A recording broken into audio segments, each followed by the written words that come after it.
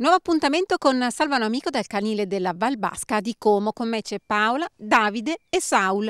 Conosciamo insieme Saul. Quali sono le sue caratteristiche?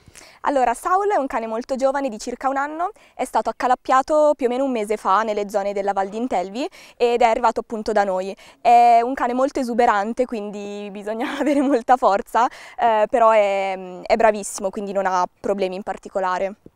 È un cane giovane, come si comporta al guinzaglio? È un cane che non, non, ama gli altri cani, diciamo, quindi per una futura adozione è meglio una famiglia senza altri cani, una famiglia possibilmente non con bambini piccoli perché appunto lui è molto esuberante e anche senza volerlo potrebbe fare male, eh, però per il resto si adatta molto tranquillamente a tutto. Per quanto riguarda gli spazi, meglio un appartamento, una casa con giardino, entrambi?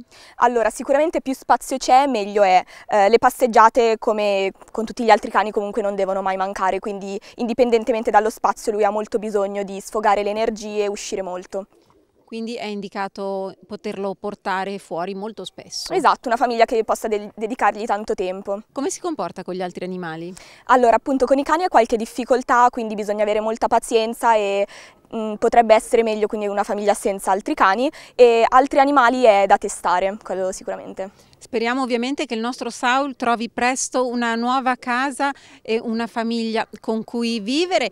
Questa puntata di Salva un Amico termina qui, grazie per averci seguito e al prossimo appuntamento. Per adottare o avere ulteriori informazioni basta contattare il canile della Valbasca al numero 031 54 29 26 oppure inviare una email a canilevalbasca chiocciola gmail.com.